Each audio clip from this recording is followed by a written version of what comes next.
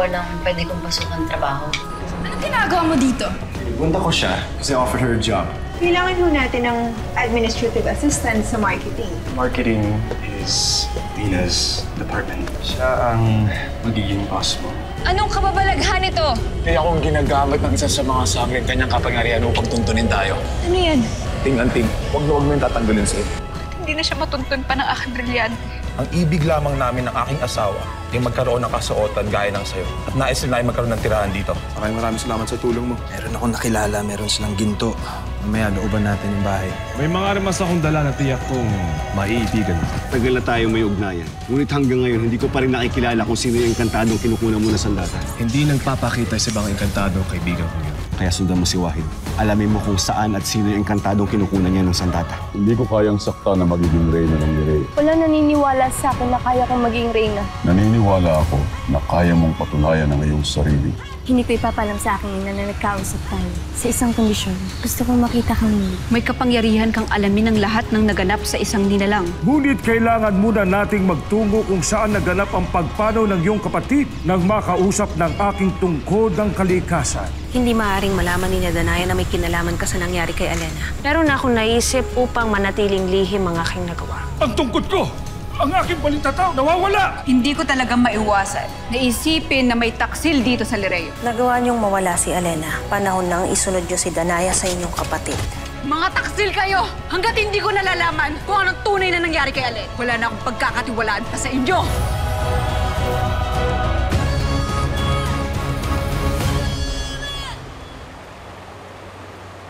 Totoo ba, Muros, na pinagsalitaan ni Sangre Danaya ang ating mga kawal? Lubhang nagpasakit ng damdamin ng ating mga sundalo. Dahil hindi lamang sila pinagdudahan ng Sangre Danaya. Inakusahan pa sila ng pagtataksil. Muros, kayo na lamang ang umunawa kay Sangre Danaya. Kapapanaw lamang ni Sangre Elena, kaya maaaring hanggang ngayon ay daladala pa niya ang galit sa pagkawala nito. Maging kayo ay pinakita niya na hindi maganda. Pasensya niyo na.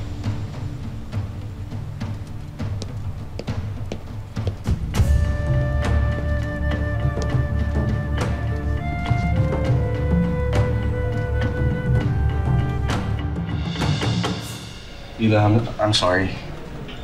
Kung hindi mo tatanggapin yung trabaho, I completely understand.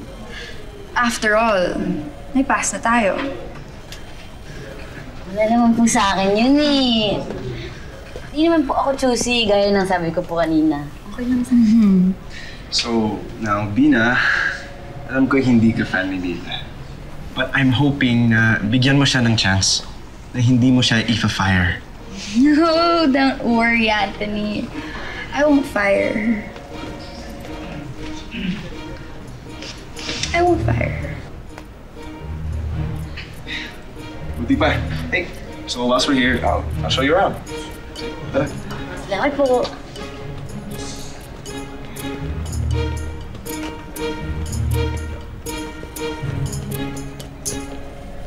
Pero hindi ako nangako that I won't make her life a living hell.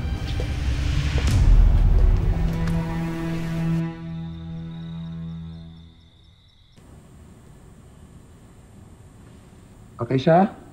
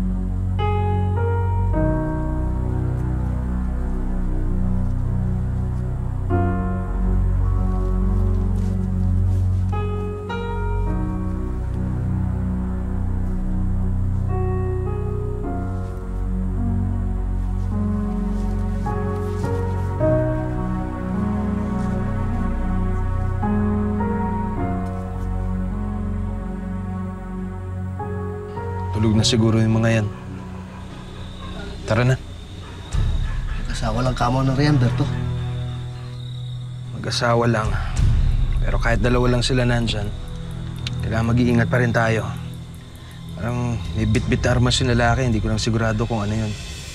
Ang sigurado ko lang, marami silang ginto dyan. At wala akong pakialam kung ano man ang hawak nila. Kailangan makuha natin yun.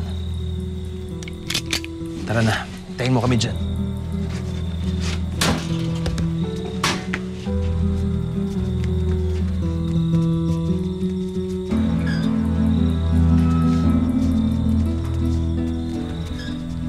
Tila kinagigiliwan ko ng aking bagong wangis na ito.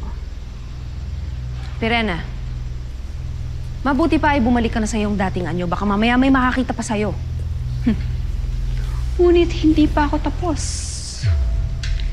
May mga bagay pang kailangang gawin si Danaya upang tuluyan na silang magkagalit ni Amihan.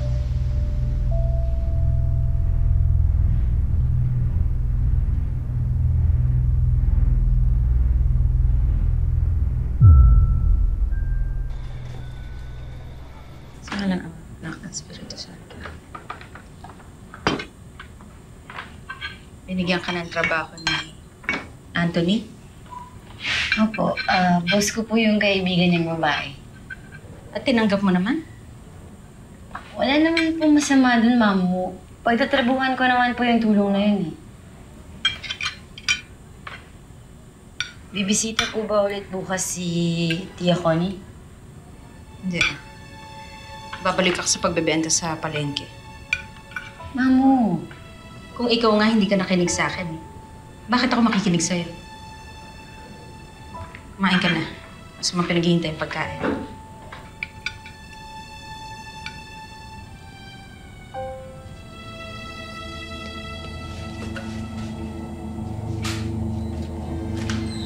Bilisan niyo, pasok na.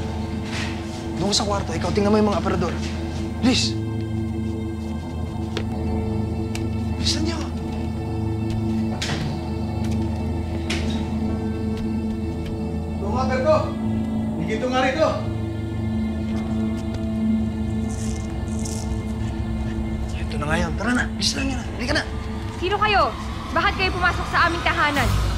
Ko, ayaw mo masaktan. Balis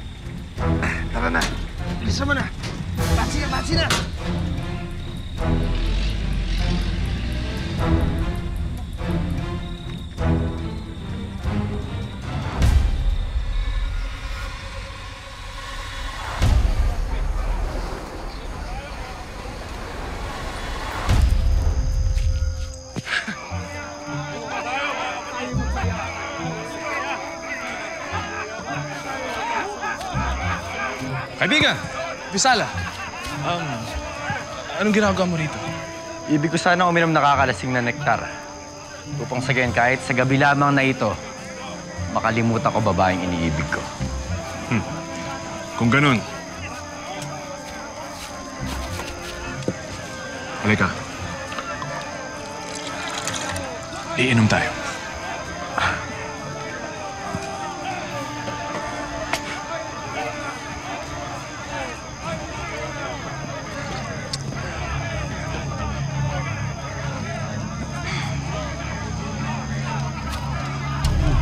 Si Ibarro. Napakainam ng lasa.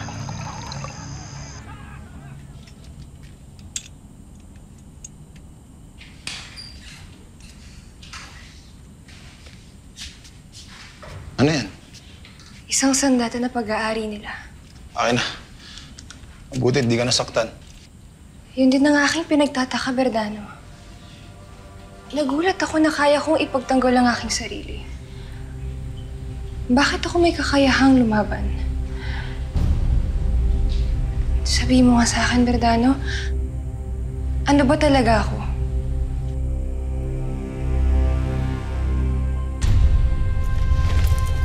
Prinsipe! Prinsipe Asbal! O bakit nagbalik ka na? Nakilala mo na ba yung taong kinukuha ni Wahid na sundata? Hindi ko pa po siya nakikilala. Ngunit magugulat ka sa akin nakitang kasama ni Wahid kanina. Doon sa Ascano. Bakit? Sino nakita mo? Si Ibaro.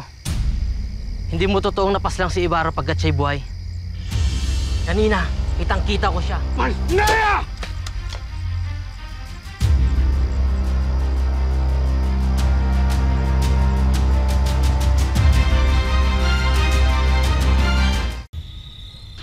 Esha, ano patandayan mo katanungan? Sagutin mo ako, Berdano. Oo. Meron tayong pambihirang liksi at lakas. Kaya nagawa natin may paglaban.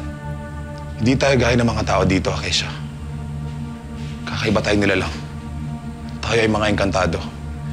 Ngunit hindi natin ito pwedeng ipagsabi. Lalo't maaari tayong katakutan dito. Kaya dapat natin ito ilihim sa mga taga rito. Kung ganun eh, yung lugar na nilisan natin ay ang ating tunay na tahanan. Bakit tayo umalis doon? Meron ba tayong tinatakasan?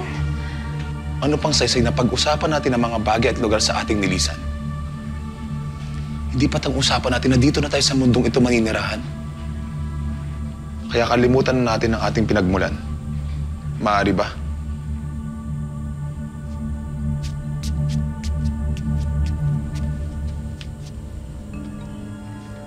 Marami kang inilihim sa akin, Berdano.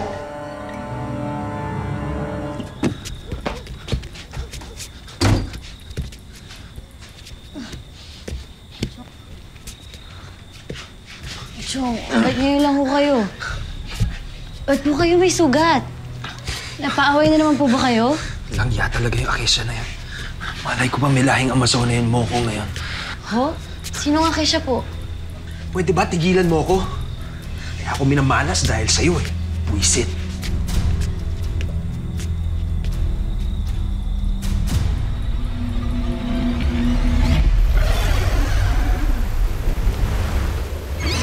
Imaw, hindi kaya nailabas ng palasya ngayong tungkod nang hindi mo nalalaman?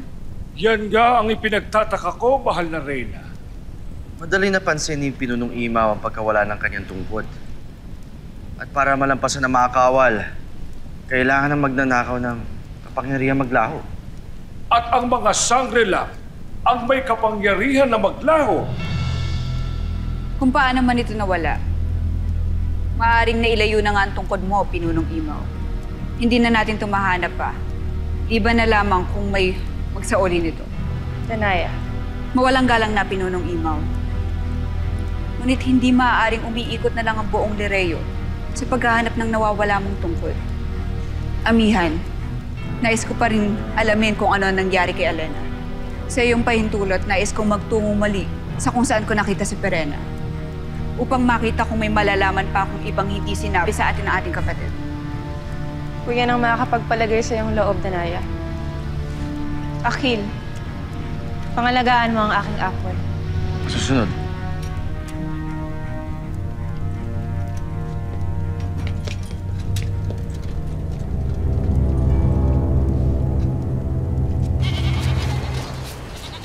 Sangre Danaya. Hindi na tayo dapat humiwalay sa ating mga kawal. Hindi kita pipigilan kung nais mo nang bumalik. Ngunit hindi ako titigil. Hanggat hindi ko nalalaman ang tunay na nangyari kay Elena.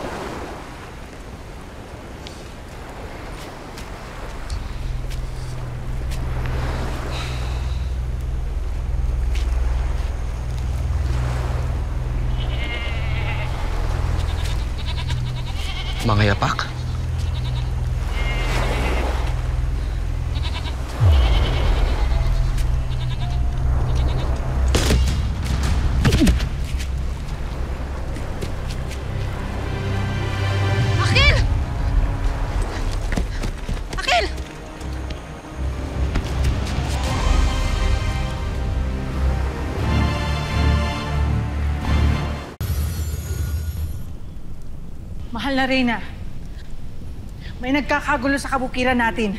Nagkakagulo mga Askilasuwe. At bakit sila nagkakagulo?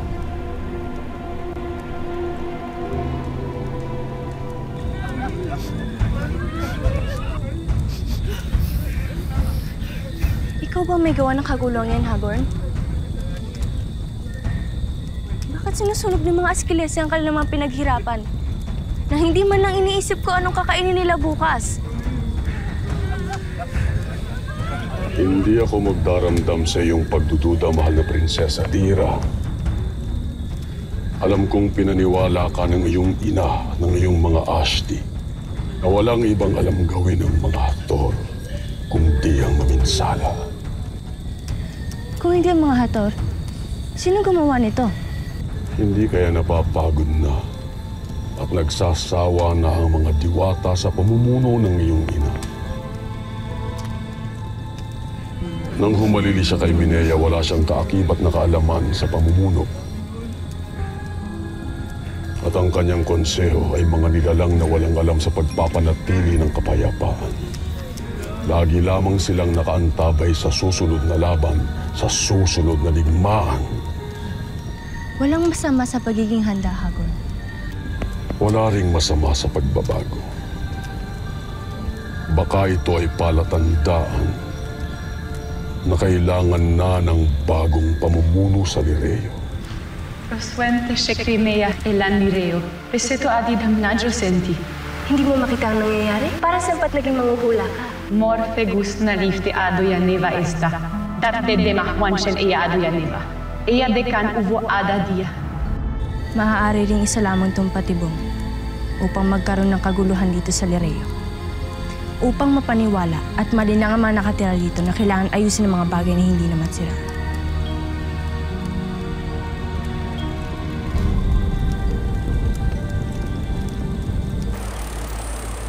Maraming napinsalang lupain sa gulong nangyari. Maraming nasugatan at alam kong maraming nasaktan. Ngunit isa lang ang gusto kong malaman. Ano ang sanhi ng inyong pag-aaklas? Ang Sangre Danaya Mahal na Reyna. Nagtungo siya sa aming tahanang kagabi. Hinalugog ang aming mga pag-aari. Pinagbibintangan ng bawat isa sa amin na taksil sa Lireo. Bilisan niyo! Ibaba niyo lahat ng pag-aari at mga inani ninyo! Ayaw niyong maramdaman ng galit ang isang sangre! Mga taksil kayo sa Direlyo. Kinamumuhuyan ko kayong lahat! Mga! Sumusobra na!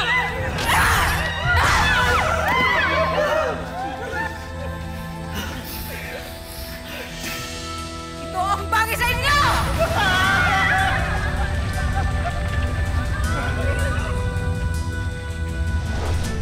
Si Sangre Danaya ang dahilan ng kaguluhan? Opo, Mahal na Reyna. Nais namin maparusahan si Sangre Danaya sa kasalanan ginawa niya. Dapat lang siyang maparusahan dahil sa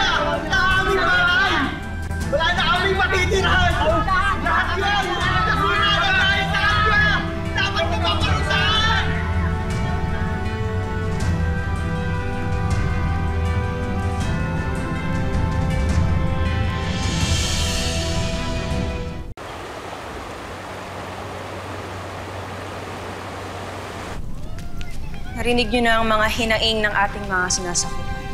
Hindi ako naniniwala magagawa ni Ashti Danaya ang sinasabi nila. Lira, hindi mo naman nakita ang yung Ash si Danaya bago siya umalis. Imaw, anong yung nasa isip?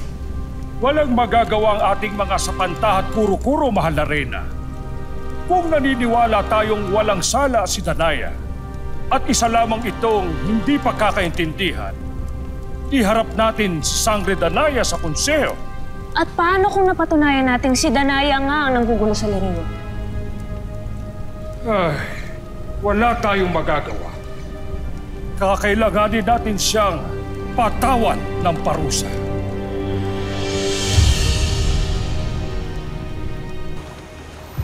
Magpahinga ka muna, Akil. Ligtas ka na sa kapahamakan.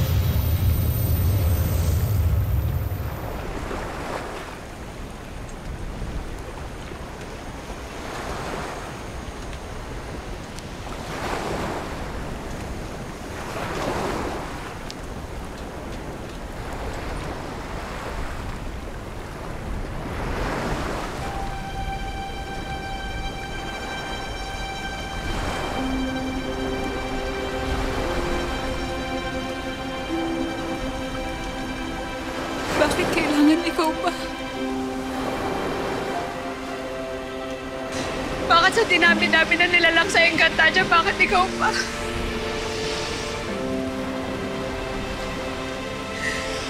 Bakit ikaw pa naisipan ni Emily na dalhin sa Devas? Bakit hindi na lang sa Perena? Bakit hindi na lang ako? Bakit kung kailan kayo pa yung mabubuti? Kayo pa yung inuulo?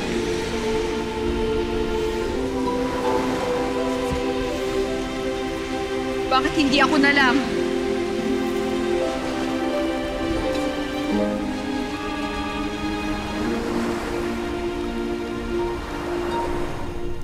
Imaw, hindi ba maaaring tayo munang sumaliksik sa mga tunay na nangyari? Ang mga magsasaka na mismo ang nagsabing si Danayang nanggugulo, hindi ba? Anong pananaliksik pa ang kailangan gawin? Ngunit Ashti Perena, hindi tumutugma sa pagkakakilala natin kay Ashti Danaya ang mga hinaing nila. Tama si Lira Pirena. Kapatid natin si Danaya. Hindi ba dapat mas kilala natin siya? Hindi magiging maganda sa mata ng iyong nasasakupan na tila ang kanilang reyna ay may kinikilingan.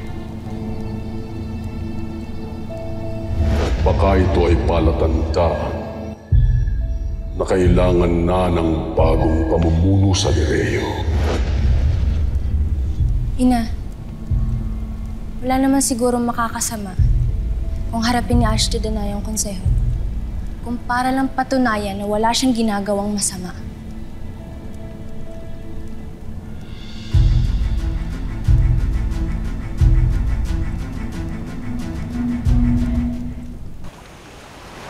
Sangre Danaya.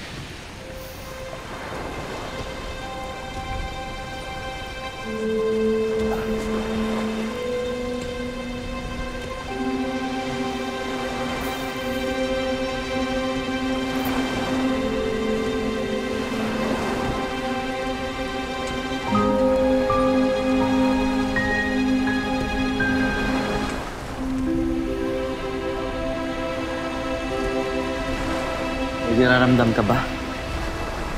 Nanghihinayang lang ako sa panahon na nasasayang natin ako. Kailangan muna nating magtungo kung saan naganap ang pagpanaw ng iyong kapatid nang makausap ng aking tungkod ng kalikasan at mabigyang linaw ang mga pangyayari roon.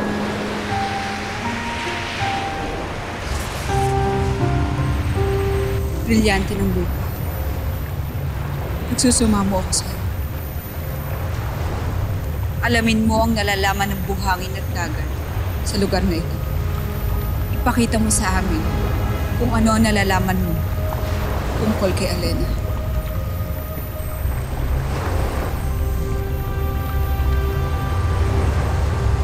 Wala ata nangyayari.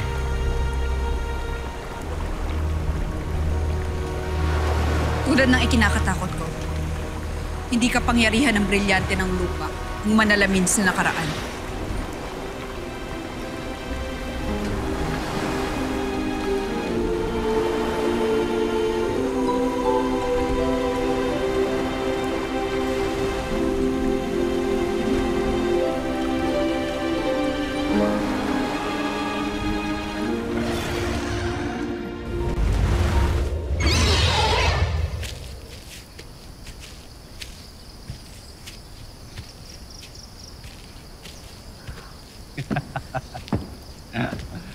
Ang magaling na manginginom ng sapiro. Ano na uwi kagabi, Ama? Lango kang umuwi. Pinihatid ka ni Wahid. Hindi ko na yun namalayan pa. Hindi ako nagtataka pagkat wala ka sa iyong sarili. Naiintindihan ko nagdadalamhati ka. Pero hindi maaaring ang iyong sarili ay iyo ring sirain. Oo, manino ka. Alam kong nagugutom ka, kaya tayo kumain na muna. Halika. Halika.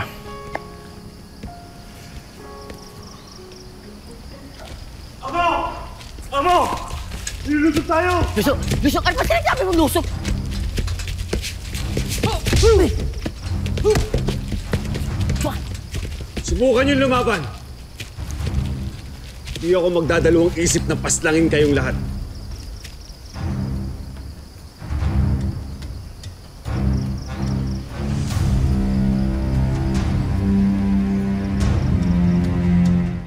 Anong ibig sabihin na ito, mga magigiting na sapiryan? Bakit nyo kami sinusugod? Hindi ikaw nga ang kailangan. Siya. Anong kailangan niya sa akin? Napaslang ka na. Ngunit ngayon bakit buhay ka pa? Anong nangyari? Paano mo nagawa yon? Ano bang pakialam niyo sa mga nagaganap sa aking buhay? Halaga na malaman ko kung ano nagaganap sa'yo. Lalo pa kinukutuban ako sa iyong kapangyarihan na kaya mong pagalingin ang iyong sarili. Isa ka bang kaibigan ng Encantadia o kagaya ng iba na ituturing kang kaaway? Paumanhin. Ngunit hindi ko masasagot ang iyong katanungan. Ang nilalang na iyan ay hindi isang tunay na mandirigma.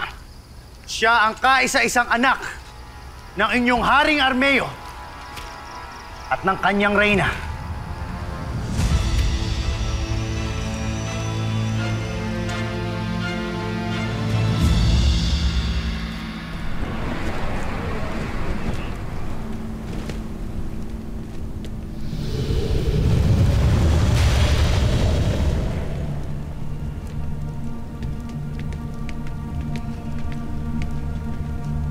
Tila marami ang nag-aabang sa akin. Kasi babalita ko tungkol sa nangyari kay Elena. Nalulungkot ako na bibiguin ko lamang sila.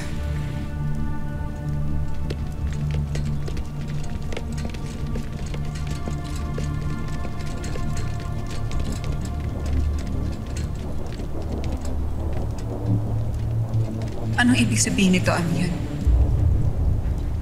May paratang na nabitawan habang wala ka sa Lereo Danay. Nais ng konseho na humarap ka sa kanila. Para sa salang pagsisimula ng hidwaan sa ating bayan.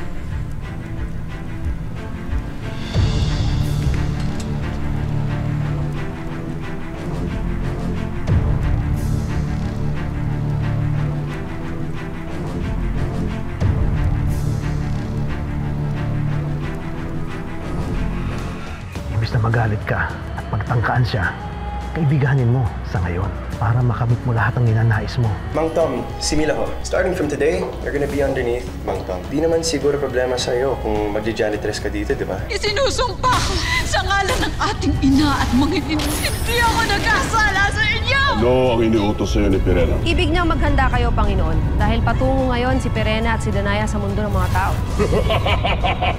Itano? Sangre Elena? Tsaka ako na may makapangyarihang diwata na napadpad sa mundo ng mga tao. Di naman itong nagva-viral video ngayon, no? Di kaya ito yung diwatang tinutukoy mo, boss? May talagang dumalaw sa bahay namin kanina. Isang Mila. Napatid kong kilala mo rin. Nais kong sabihin mo sa akin kung sino siya. Anak-anakan ng kapatid ko. Tila siya na nga. Si Mila ang tunay na anak ni Amihan. Ikaw na lang, anak. At ang Ashti Perena mo nandyan para sa akin.